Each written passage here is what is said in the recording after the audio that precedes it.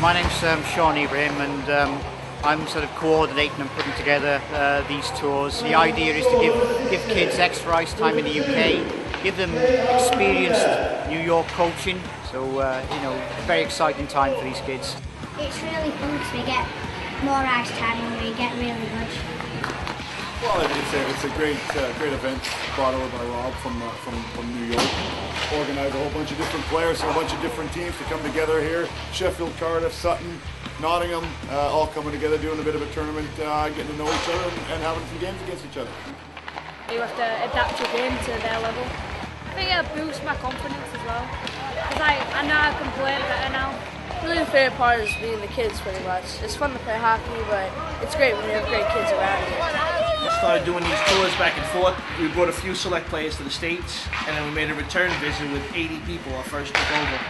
So, and ever since then, as the friendships have been forged, and it just keeps on going. And that's what we hope to do with this tournament. It's an opportunity for them, obviously, to, to meet players from other teams around the, the north of England. On so well. It's so nice for them to not seen each other for a year, two years, and then right away they just gel again. You know, a lot of these kids, they all make friends with each other. They stay friends for life.